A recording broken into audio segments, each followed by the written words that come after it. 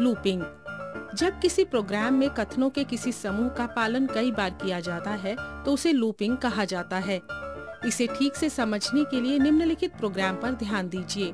10 REM, this print, first. 10 multiple of 12 20 let k is equal to 1 30 print 12 गुना k. 40 let k is equal to k plus 1 50 if k greater than is equal to 10 then 30 60 end ये program 12 का पहाड़ा छापता है। इसमें पहाड़े का क्रम बनाने के लिए चर के का प्रयोग किया गया है। प्रारंभ में के का मान एक रखा गया है। कथन 30 में पहाड़े की पहली संख्या छापी जाती है और अगले ही कथन में के का मान एक बढ़ा दिया जाता है, जिससे संख्या का मान दो हो जाता है। लाइन संख्या 50 के इफ़ कथन में ये जाँच की गई कि के का मान 10 से कम या बराबर है कि नहीं। यदि है तो कंट्रोल वापस कथन संख्या 30 पर आ जाता है। यहाँ पहाड़ी की अगली संख्या छापी जाती है, तथा के का मान फिर एक से बढ़ा दिया जाता है। पहाड़ा छापना और के का मान बढ़ाना तब तक चलता रहता है, जब तक के का मान 10 से ज़्यादा नहीं हो जाता। के का मान 11 होते ही इफ़ कथन की शर्त असत्य हो जाती है और कंट्रोल अगले कथन अर्थात एंड कथन पर आ जाता है। ऊपर के उदाहरण में कथन संख्या 30 से कथन संख्या 50 तक के कथन बार बार पालित किए जाते हैं। इससे एक लूप बन जाता है। इस लूप में चर के का मान एक से दस तक बदलता है। यहाँ लूपिंग लूपिंग वेरिएबल है। यहाँ इफ़ कथन का प्रयोग करके एक साधारण लूप बनाया गया है। आप इफ़ कथन का प्रयोग करके सभी प्रकार के लूप बना सकते हैं। बेसिक में साधारण लूप बनाने के लिए प्रायः फॉर डैश नेक्स्ट कथनों का प्रयोग किया जाता है। फॉर डैश नेक्स्ट कथन फॉर डैश नेक्स्ट कथनों का प्रयोग लूप बनाने के लिए किया जाता है। इनमें फॉर कथन लूप का पहला और नेक्स्ट कथन लूप का अंतिम कथन होता है। इन कथनों के बीच कितने भी कथन हो सकते हैं। उदाहरण के लिए ऊपर के प्रोग्राम को हम फॉर डैश नेक्स्ट कथनों का प्रयोग करके निम्न प्रकार सरलता से लिख सकते हैं।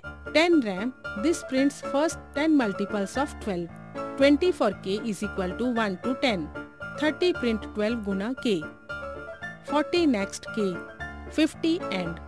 यहाँ लाइन संख्या 20 के फॉर कथन का अर्थ है कि चर के लूपिंग चर है जिसका मान एक से प्रारंभ होकर क्रमशः बढ़ता हुआ 10 पहुँचता है इसका अर्थ यह भी है कि लूप के कथनों का पालन के प्रत्येक मान के साथ एक एक बार किया जाता है इसके बाद लूप समाप्त हो जाता है।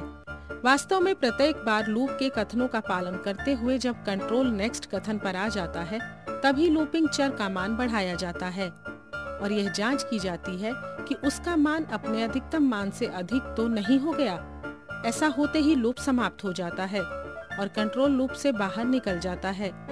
फॉर कथन में लूपिंग चर के प्रारंभिक और अंतिम मान संख्यात्मक चर भी हो सकते हैं। बेसिक में फॉर डैश नेक्स्ट कथनों का प्रयोग करके लूप बनाते समय ये सावधानी रखनी होती है कि कंट्रोल लूप में केवल उसके पहले कथन से अंदर जाना चाहिए। यद्यपि वह लूप पूरा होने से पहले ही कंट्रोल लूप के किसी भी कथन से बाहर निकल सकता है। उदाहरण, हम एक ऐसा प्रोग्राम लिखना चाहते हैं जो आठ संख्याओं को पढ़कर इन्हें जोड़ते हैं। यहाँ पर पढ़ी जाने वाली संख्याओं की गिनती हमें पहले से मालूम है। इसलिए हम एक ऐसा लूप बनाएँगे जो आठ बार दोहराया जाता है। इसके लिए हम एक लूपिंग चर लेंगे, जिसके मान एक से आठ तक रखेंगे। इसके साथ ही हम योग के लिए भी एक चर बनाएँगे, जिसका मान शुरू में शून्य होगा। अब लूप के अंदर हम एक बार एक संख्या पढ़ेंगे और उसे योग वाले चर में जोड़ते जाएँगे। लूप पूरा होने तक सभी संख्याओं का योग हमें प्राप्त हो जाएगा। इसके लिए प्रोग्राम निम्न प्रकार लिखा जा सकता है। 10 RAM this reads 8 numbers and finds their sum. 20 lets is equal to 0. 30 for 1 is equal to 1 to 8. 40 input double inverted comma give number colon double inverted comma single inverted comma n. 50 lets is equal to s plus n. 60 next 1. 70 print double inverted comma sum is double inverted comma single S AT end यहाँ एक looping चर है. S योग का चर है और N पढ़ी जाने वाली संख्याओं का चर है. लाइन संख्या 50 के कथन let S is equal to S plus N inverted comma का अर्थ है कि संख्या एन का योग एस में जोड़कर एस का नया मान निकाला जाएगा. शेष कथनों का अर्थ आप स्वयं समझ सकते हैं.